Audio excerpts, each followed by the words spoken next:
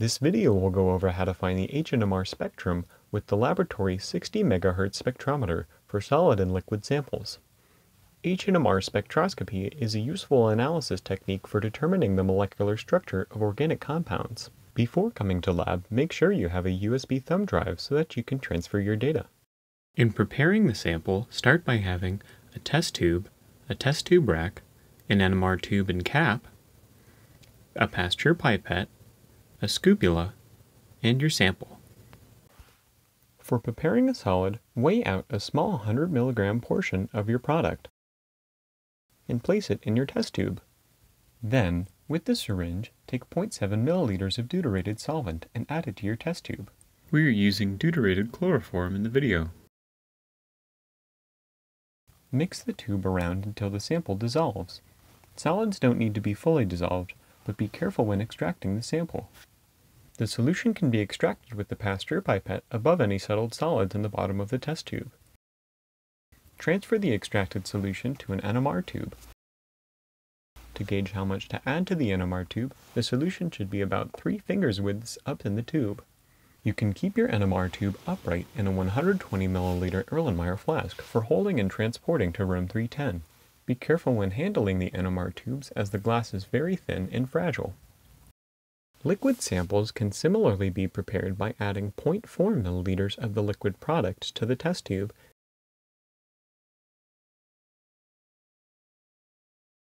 and adding 0.3 milliliters of the NMR solvent. Swirl the test tube to mix it and then pipette into the NMR tube. Keep NMR tubes in an Erlenmeyer flask for safekeeping. This portion of the video will go over how to take an NMR spectrum with the 60 MHz NMR spectrometer.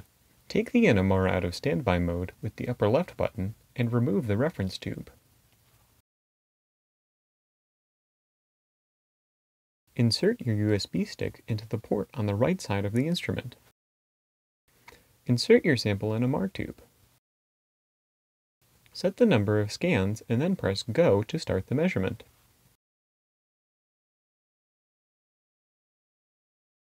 Wait for the NMR spectrum to be acquired.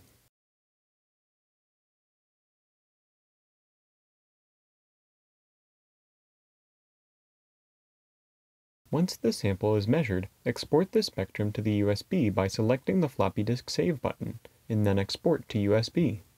Clear the text and use the keyboard to title and save the data.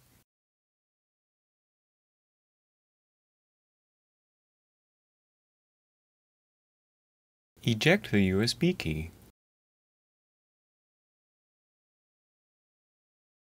Press Done in the right-hand lower corner. Remove the USB key. The instrument then needs to be recalibrated to the standard. Remove the sample NMR tube and place the standard tube inside.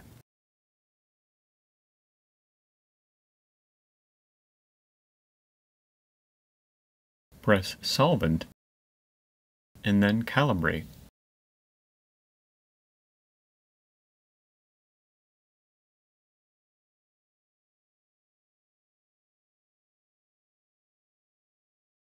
If you're the last person to use the instrument, keep the standard tube in and put the instrument in standby by selecting the upper left button and pressing OK.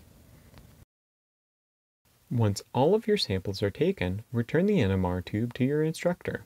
You can analyze the spectrum data with the ACD NMR processing software. For more information, click the link below to the following video. Thank you for watching. This video was made possible by a mini grant from the University of Massachusetts Lowell Transformational Education 2020 Committee.